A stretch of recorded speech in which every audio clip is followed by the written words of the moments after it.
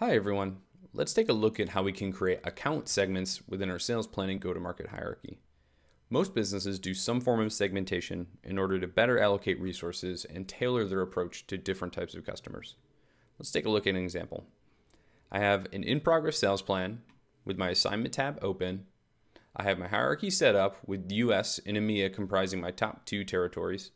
I have accounts brought in and assigned out to US and EMEA already.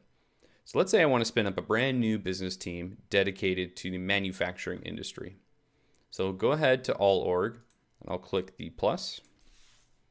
I'll type in manufacturing. I'll click save.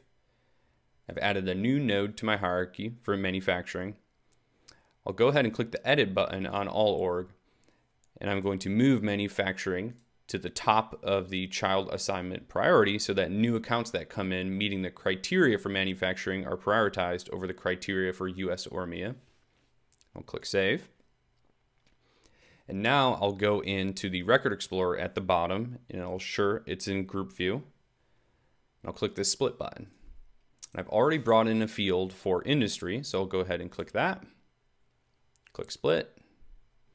I'll select the manufacturing industry, and then I will click assign. And then for the node, I will select my manufacturing node. I'll click preview. Just like that, you can see the accounts that will be leaving the US territory and going into my brand new manufacturing territory, as well as the difference in employee and annual revenue count. These changes look good to me, so I'll go ahead and click apply. And that completes segmenting accounts with sales planning.